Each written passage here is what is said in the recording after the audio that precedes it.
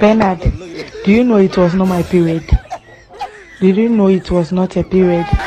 The way he hit my womb, that's why the blood came out. I don't have, I don't fuck such a dick before. It's long and big. I don't fuck such a dick before. So if you hit him like ever kakanuele inside. Ever kakanuele inside. It make me I bleed. It is smoking. And you gonna explain tire. you go explain, explain, explain. My Bible fall for inside the river again. After when you fight, uh, fall for inside the river again, I go back for that river and do my hand like this.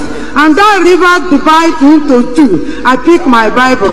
Interrimo ad appare dorime. Interrimo ad appare dorime.